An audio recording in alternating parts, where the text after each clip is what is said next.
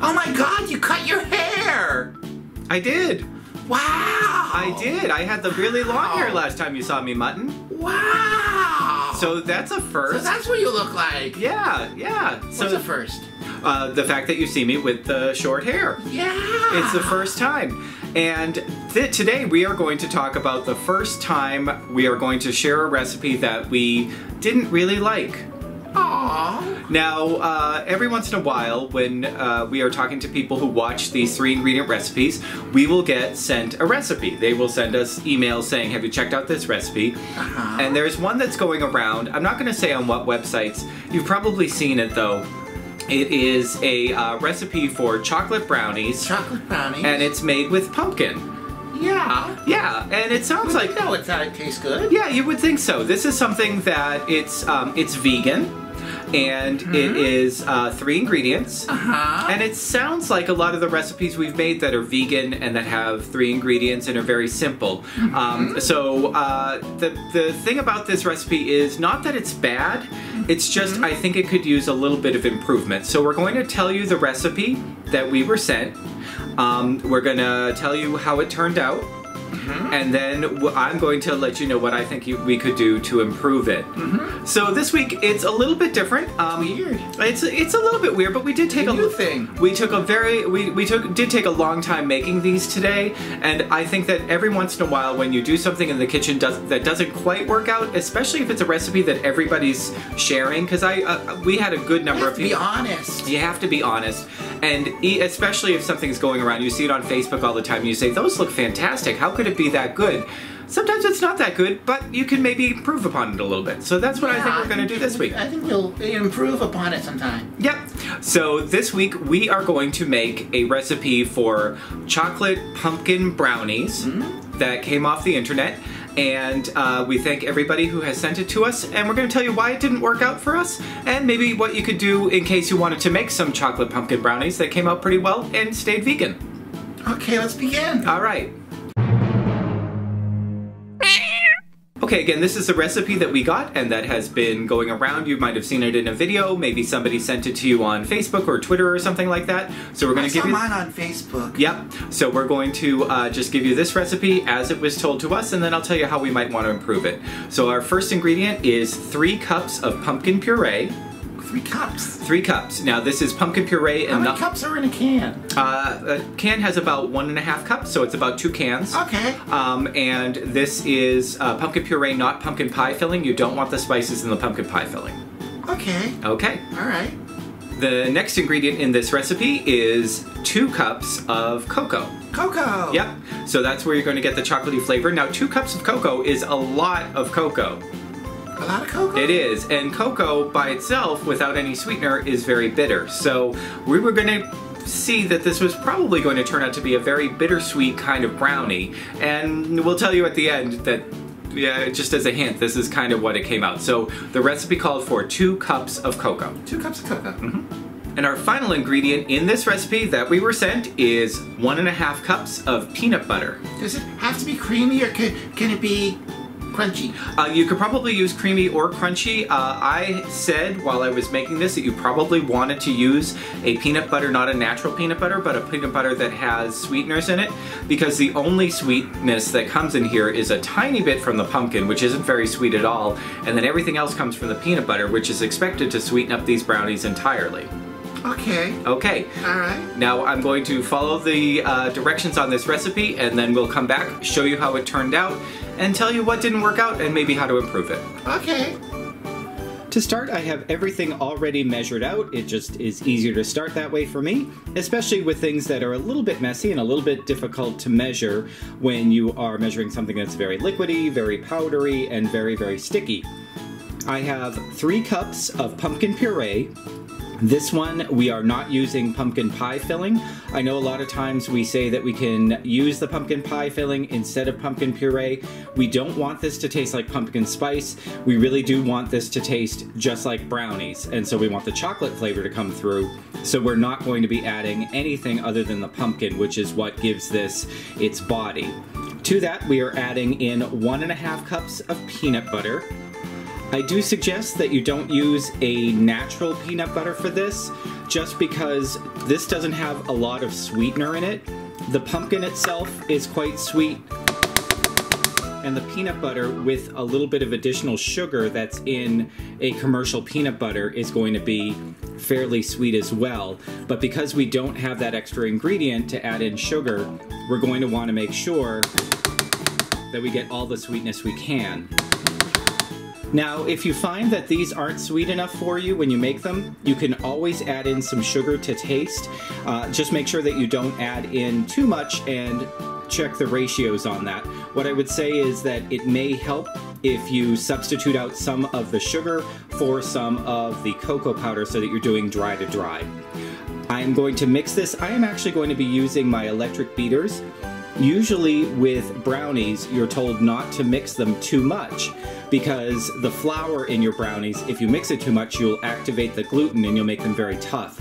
Because we don't have any flour in this, we can really make sure that we get a smooth consistency because nothing's going to toughen up this. So I'm going to use my electric beaters to make sure it's all very smooth, especially this peanut butter and pumpkin mixture, which could have a little bit of difficulty incorporating because the peanut butter is so sticky and the pumpkin is so liquidy. So we'll start by mixing these two together. All right, and now I'm just going to add in my cocoa. I think I'll add in a little bit at a time and then mix it as I go. Again, there's no real reason why you couldn't do this by hand, but this is a much thicker mixture than you may be used to with brownies, so these electric mixers come in very handy. You could also use a stand mixer if you want to.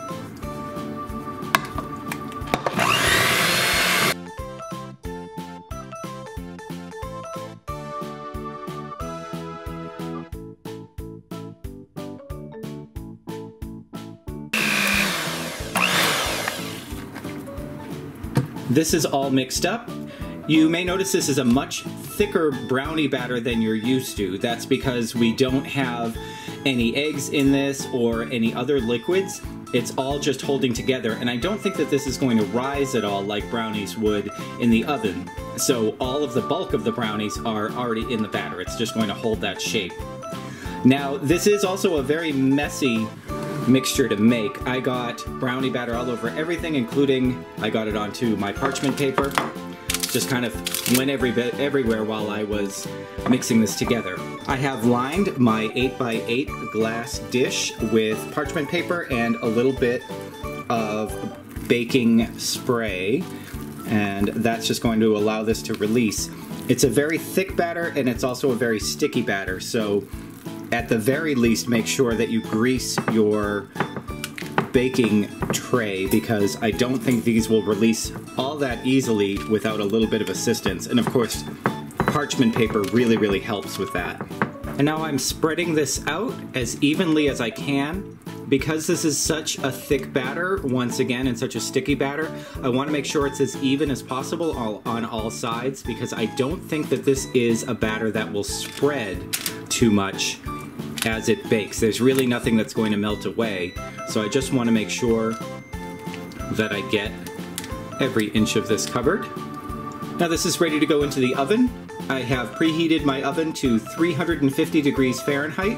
I will put this in here for 15 minutes and then test it to make sure that a toothpick that goes into the center comes out clean and then it will be ready to cool, cut, and serve. I, don't I, I don't think so. You don't think so? I, I, am sorry. It, it just it, it didn't work. It really didn't work out. Now, if you look, take a look at these, these look like really rich, fudgy brownies, and they actually smell pretty good too, huh? Yeah. Yeah, I mean they smell like chocolate. They smell like cocoa. Um, I'm gonna tell you, bitter. Um, it's it's quite bitter. Um, and I'm going to tell you a couple of things that didn't work out. One, um, in the recipe it said to cook these for 15 minutes. Now, um, the size of the pan, the amount of batter that you have, 15 minutes, it was still liquid. It was still exactly the same. So I actually cooked these for uh, 45 to 50 minutes. That's a long time. That's a very long time for brownies. Um, these are very heavy. Which for a brownie, it's not. Don't drop 'em. Yeah, it's not necessarily a bad thing for a brownie, but these are very, very heavy and very. Um, I don't know. They're they're kind of heavy, a little wet, and a little dry all at the same time. they absolutely don't have uh, enough sweetness in them. Um, so I would say that these probably didn't come out the way that we expected them to. Now, if you are desperate for a brownie and you cannot have processed sugar and you absolutely have to keep vegan, then maybe these would work out for you. But in a minute, we will talk about some improvements you can make. But if you if you want to try this, I say go for it. But you may be a little bit disappointed. Aww. Hmm. Aww. Okay, so these didn't work out. Those brownies did not work out. No. So uh, the first thing I would say, if you uh, wanted to make these with most of the exact same recipe, but to sweeten it up, I would say cut the cocoa in half and add in about a cup to a cup and a half of sugar, pure sugar. Mm. Now that's going to add another ingredient. It's not going to be three ingredients, but it's certainly going to sweeten things up and it's going to take away a little bit of the bitterness of the cocoa. Number two, I would say put this into a 9 by 13 pan. Mm. Now, do you know why we would do that? Just spread it out a little To bit. spread it out a little bit so you would cook faster. Because I definitely, uh, you, you definitely are, are trying to cook way too much all at once.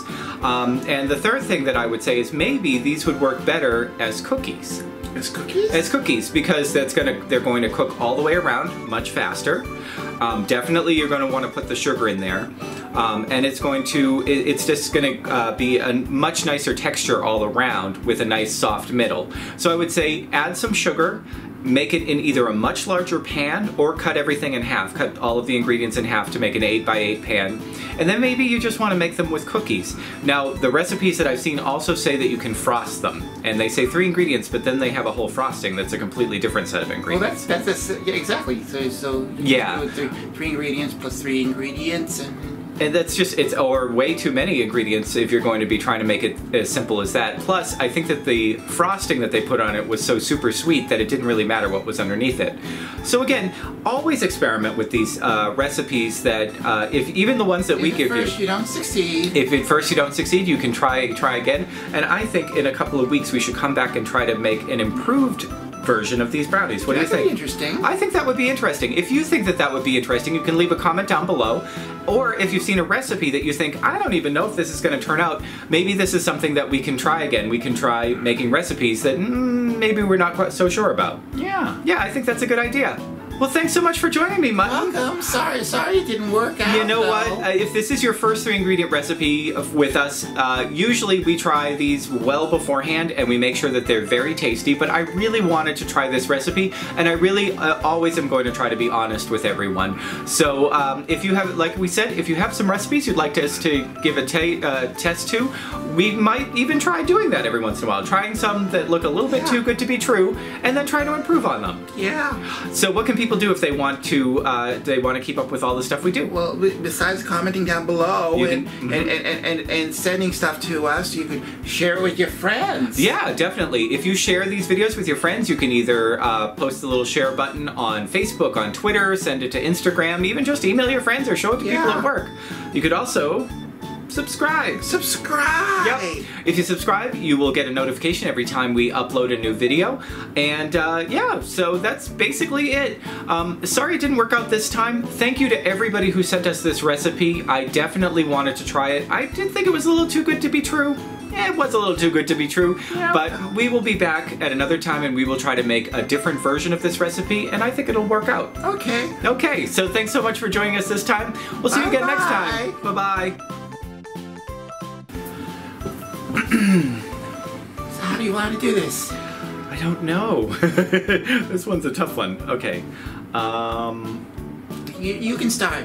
I'm gonna start. Okay. Okay. Okay. All right. That sounds good. Okay. Okay. Okay.